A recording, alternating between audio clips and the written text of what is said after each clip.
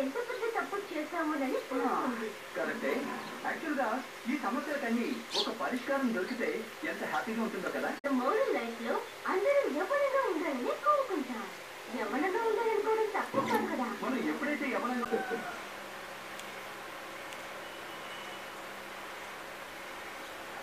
model లైఫ్లో అందరూ